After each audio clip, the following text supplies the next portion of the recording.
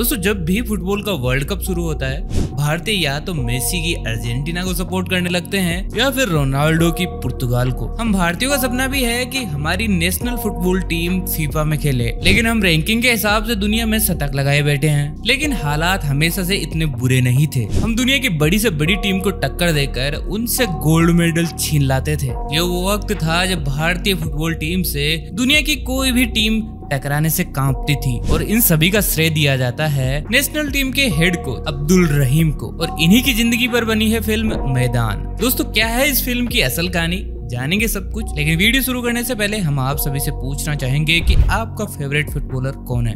Comment करके हमें ज़रूर बताइए। और हाँ अगर आप इस चैनल पर नए हैं तो चैनल को कर लीजिए सब्सक्राइब और ये बेल आइकन दबाना ना भूले, ताकि नए आने वाले वीडियोस मिले आपको सबसे पहले। दोस्तों, भारत ने पहला इंटरनेशनल फुटबॉल टूर लगभग 1924 में किया था। फिर लगभग 1930 या 1948 में बिना जूतों के खेलने वाली एक छोटी सी टीम अचानक 1955 से उन्नीस सौ बासठ के बीच इतनी कैसे बदल गई कि कुछ ही सालों में जापान और साउथ कोरिया को हराकर दो इंटरनेशनल गोल्ड मेडल जीत लिए। तो आखिरकार हुआ क्या उन 11 सालों में, जिसे हम आज भी भारतीय फुटबॉल टीम का स्वर्णिम काल कहते हैं? भारत को एक छोटी मोटी टीम से इंटरनेशनल टीम बनाने में भारतीय फुटबॉल कोच सैयद अब्दुल रहीम का बहुत बड़ा हाथ था। 1909 में हैदराबाद में जन्मे सैयद अब्दुल रहीम ने लगभग 11 साल की उम्र में फुटबॉल खेलना शुरू किया था, जिसके बाद वह उस्मानिया यूनिवर्सिटी फुटबॉल टीम का हिस्सा बने, जहाँ वो 11 हंटर्स नाम की टीम के साथ खेला करते थे। अब्दुल रहीम ना सिर्फ़ खेलने में, बल्कि पढ़ने में भी अच्छे थे।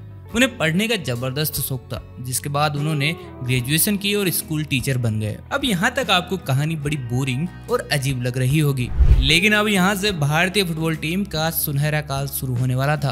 अब्दुल रहीम ने लगभग 30 साल की उम्र में फुटबॉल सिखाना शुरू किया। 1939 में हैदराबाद फुटबॉल एसोसिएशन की स्थापना हुई और शिव कुमार लाल नामक पुलिस ऑफिसर वहाँ के प्रेसिडेंट बने, जिसके बाद उन्होंने हैदराबाद सिटी पुलिस या सिटी अफगान्स नाम की फुटबॉल टीम की स्थापना की। हैदराबाद नवाब के समय हैदराबाद सिटी पुलिस नामक फुटबॉल टीम हैदराबाद की सबसे प्रभावशाली टीम थी। उस समय भी अब्दुल रहीम कमर क्लब नाम के फुटबॉल टीम के साथ फुटबॉल खेला करते थे। 1942 यानी कि लगभग 33 साल की उम्र में अब्दुल रहीम को हैदराबाद फुटबॉल एसोसिएशन का सेक्रेटरी बनाया गया। कुछ दिनों के अंदर ही अब्दुल ने नोटिस किया कि उस समय ज़्यादातर भारतीय खिलाड़ी अंग्रेज़ों के अंग्रेज़ी अंदाज यानी स्टाइल में खेला करते थे। 1943 में अब्दुल रहीम हैदराबाद सिटी पुलिस के कोच बनने के बाद टीम को नए तरीके से खेलना सिखाया। और उसका असर यह हुआ कि कुछ ही महीनों में हैदराबाद की टीम ने बेंगलुरु और बंगाल जैसी बड़ी टीमों को हराकर एस गोल्ड कप हासिल किया। धीरे धीरे कुछ ही सालों में हैदराबाद सिटी पुलिस टीम देश की सबसे बड़ी टीम बन गई। उस समय भारत आज़ाद नहीं हुआ था। भारत को आज़ादी मिली 1947 में। मगर हैदराबाद को वहाँ के निज़ाम से आज़ादी 1948 में दिलाई गई। 1947 से 48 तक रहीम एक प्रसिद्ध कोच बन चुके थे, जिसकी वजह से 1950 में अब्दुल रहीम को भारतीय नेशनल फुटबॉल टीम का कोच बनाया गया। अब यहाँ से शुरू हुआ भारतीय फुटबॉल टीम का सुनहरा पल। उन्नीस सौ इक्यावन में नई दिल्ली में पहला एशियन गेम्स हुआ। जिसमें जवाहरलाल नेहरू की उपस्थिति में भारतीय फुटबॉल टीम ने ईरान को हराकर एशियन गेम्स का फुटबॉल गोल्ड मेडल हासिल कर लिया। उन्नीस सौ बावन का वक्त आया। भारतीय फुटबॉल टीम ओलंपिक खेलने के लिए फिनलैंड पहुँची। मगर भारत की यहाँ युगोस्लाविया के हाथों बुरी तरह से हार हुई। इसका कारण बताया गया कि उस समय भी भारतीय टीम बिना जूतों के ही फुटबॉल खेला करती थी। अब यहाँ एशिया या भारत में ठीक था, मगर फिनलैंड में ठंड बहुत ज़्यादा होती है। और ऐसे ठंड में बिना जूतों के फुटबॉल खेलना बहुत मुश्किल था। और ये तो आप भी समझ सकते हैं, सर्दियों में बिना जूते के फुटबॉल खेलना कितना दर्दनाक रहा होगा। टीम के भारत लौटने के बाद ऑल इंडिया फुटबॉल फेडरेशन ने सारी भारतीय टीम्स को जूते पहनकर फुटबॉल खेलना अनिवार्य यानी कंपल्सरी कर दिया।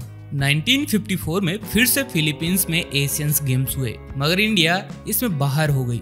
उस वक्त रहीम ने भारतीय खिलाड़ियों के हारे हुए मन को अगले गेम में अच्छे से खेलने को प्रेरित किया। असर ये हुआ कि 1956 के ओलंपिक्स में इंडिया ने ऑस्ट्रेलिया को हराकर एशिया की पहली टीम बनी जो ओलंपिक्स के सेमीफाइनल तक पहुँची। ऐसे ही भारत ने 1958 तक एशिया कप में चौथा पायदान हासिल किया। अब्दुल रहीम एक चैन स्मोकर थे, जिसकी वजह से धीरे धीरे अब्दुल रहीम की सेहत खराब हो रही थी। 1962 का वक्त आया और इस बार एशियन गेम्स इंडोनेशिया के जकार्ता शहर में था।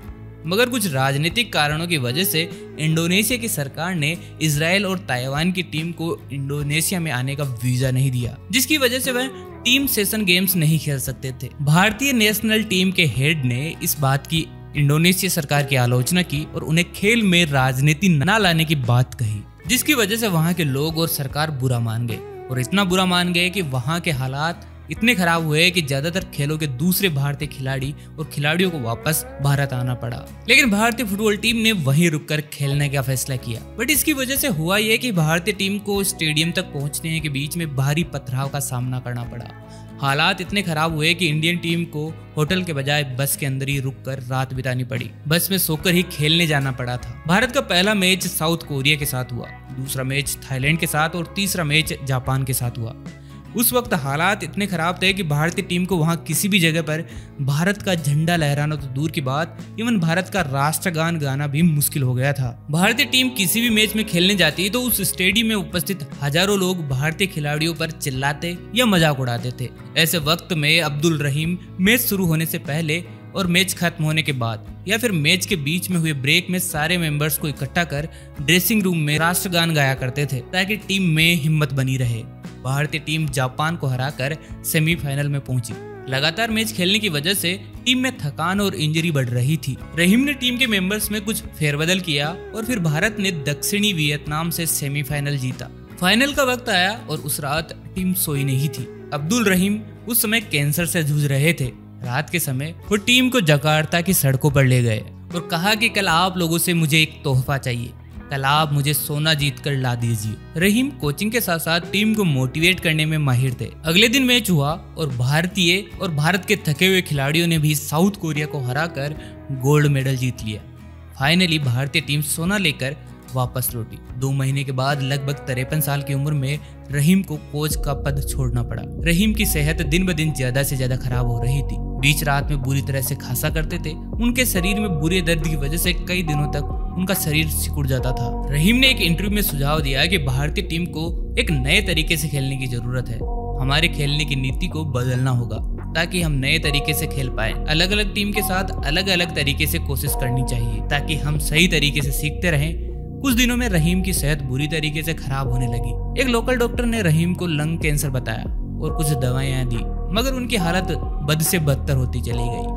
आखिर में उन्हें मुंबई के प्रसिद्ध टाटा हॉस्पिटल में ले जाया गया। मगर वहाँ के डॉक्टर्स ने भी बताया कि वह ठीक नहीं हो सकते। वहाँ उन्होंने अपनी ज़िंदगी के आखिरी छह महीने बेड पर ही बिताए। 1964 में इंडिया के नए कोच अल्बर्टो फर्नांडो किसी काम से ब्राज़ील गए। वहाँ उन्होंने देखा कि जो तकनीक अब्दुल रहीम उन्नीस सौ छप्पन में सिखाया करते थे, अब वही टेक्निक ब्राज़ील सीखना शुरू कर चुका है। इसमें कोई शंका नहीं है कि कोचिंग गिरी में रहीम अपने समय से काफ़ी ज़्यादा आगे थे। अब्दुल रहीम की बायोपिक आपको फ़िल्म मैदान में देखने को मिल रही है, जिसमें अब्दुल रहीम का किरदार अजय देवगन निभा रहे हैं। और जिस किसी को भी लगता है की सिगरेट से कुछ नहीं होता, ये एक फ़ैशन सिंबल है, उसे ये ज़रूर दिखाइए। दोस्तों, क्या होता अगर अब्दुल रहीम आज भी ज़िंदा होते?